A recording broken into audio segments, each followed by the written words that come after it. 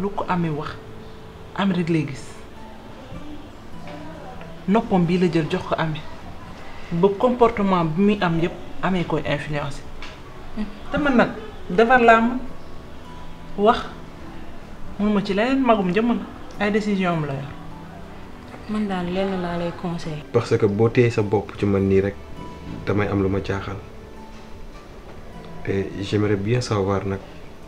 lan moo xew. Abdou Salim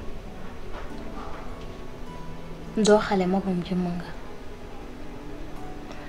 man aussi même bu nekkee ne xale la sama responsabilité romb na samay at. yow xam nga ni su ma la waxee doom ji du ma bokk ak moom fii ci kaw àdduna war nga koo gëm bul ma ni ay soo lii du dund fii ci kaw suuf est-ce que yaa ngi may dégg doom ji du fi juddoo